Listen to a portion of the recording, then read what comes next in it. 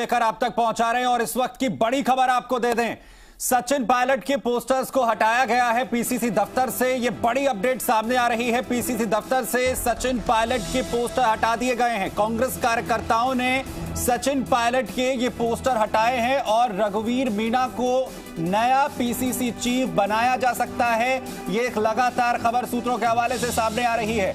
और सबसे बड़ा अपडेट ये कि सचिन पायलट के पोस्टर पीसीसी दफ्तर से उतारे गए हैं। कांग्रेस कार्यकर्ताओं की तरफ़ से इन पोस्टर्स को हटा दिया गया है। तस्वीरें भी हम आपको दिखा दें, जहाँ से तस्वीरें ये बताती हुई कि किस तरीके से सचिन पायलट के पोस्टर्स को पीसीसी दफ्तर से हटाया जा रहा है, यानी वो तमाम चीज़ें अब कहीं ना कहीं ग्राउंड पर पूरी तरीके से साबित होती हुई, सही होती हुई, जिसे लेकर अभी तक सिर्फ़ आशंकाएँ थी। यानी एक बड़ा ऐलान कुछ ही देर के बाद, क्योंकि अभी थोड़ी ही देर में केंद्रीय नेतृत्व के जो कांग्रेस के नेता पहुँचे हुए हैं, जयपुर उनकी तरफ़ से प्रेस कॉन्फ्रेंस की जानी है, जिसमें आज माकन होंगे।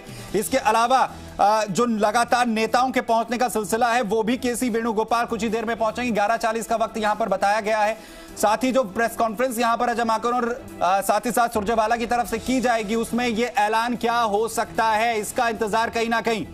बिल्कुल, देखिए, ये बड़ी खबर दर्शकों तक पहुँचा रहे हैं। पीसीसी दफ्तर से सचिन पायलट के पोस्टर्स को हटा लिया गया है और यही पीसीसी चीफ देखिए, वो पद है जिसको लेकर ये पूरा घमासान जो है, पूरा जो घटनाक्रम है वो शुरू हुआ, चूँकि ये खबर सामने आई कि पीसीसी चीफ बदला जा सकता है और इसी को लेकर सचिन पायलट की नाराज़गी सामने आई और उसके बाद अब ये बड़ी खबर और ये संकेत देते हुए कि सचिन पायलट के लिए कांग्रेस में तो अब जो रास्ते हैं वो बंद हो चुके हैं। ये सचिन पायलट के लिए एक बहुत बड़ा झटका यहाँ पर माना जा सकता है। कांग्रेस कार्यकर्ताओं ने सचिन पायलट के पोस्टर को हटा लिया है और ये खबर सामने आ रही है कि रघुवीर मीणा को नया पीसीसी चीफ जो है, वो अब बनाया जा सकता है। एक्सक्लूसिव तस्वीरें भी आपको दिखा रहे हैं किस तरीके से पीसीसी दफ्तर से जो पोस्टर है, वो हटा लिए गए हैं। रिकॉर्ड सचिन पायलट ने बनाया।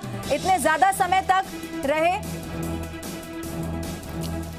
दिनेश श्रीमाली साहब हमारे साथ यहाँ पर बने हुए हैं। ग्राउंड ज़ीरो पर जी मीडिया संवाददाता भी पल पल की जानकारी हमें यहाँ पर पहुँचा रहे हैं। दिनेश श्रीमाली साहब, क्या ये कांग्रेस में पायलट युग का अंत है?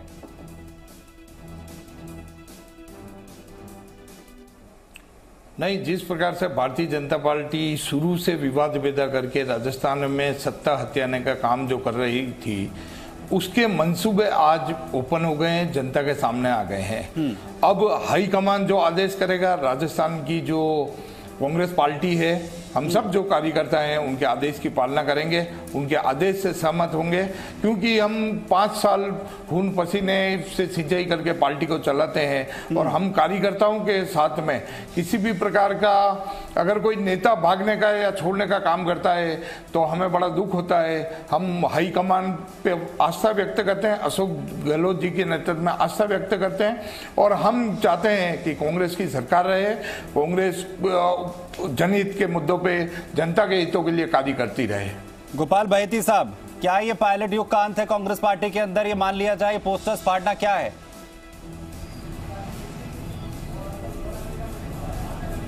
ऐसा है कि पोस्टर फाड़ना तो एक कोई इमीडिएट कार्यकर्ताओं का रिएक्शन हो सकता है। जब तक हाईकमान कोई फैसला नहीं ले ऐसा शब्द बोलना कि पायलट का अंत है तो ऊपर नहीं है।